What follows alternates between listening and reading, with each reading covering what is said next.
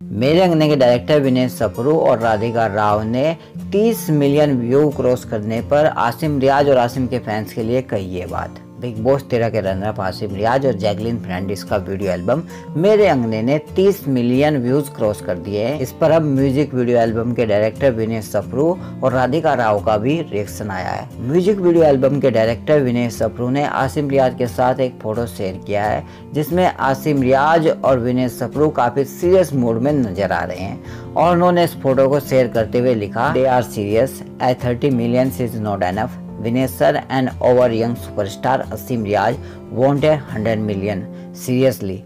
And to all the Asim fans, a big thanks for all the support, love the fashion and commitment of you all. Let's go for the 100M. Love you guys Vinay Sapru और राधिका राव ने आसिम के fans का धन्यवाद किया है उन्होंने कहा कि 30 मिलियन काफ़ी नहीं है, हमें 100 मिलियन व्यूज़ चाहिए। वहीं उन्होंने आसिम और आसिम के फैंस का धन्यवाद किया है उन्होंने आसिम रियाज को यंग सुपरस्टार कहा है।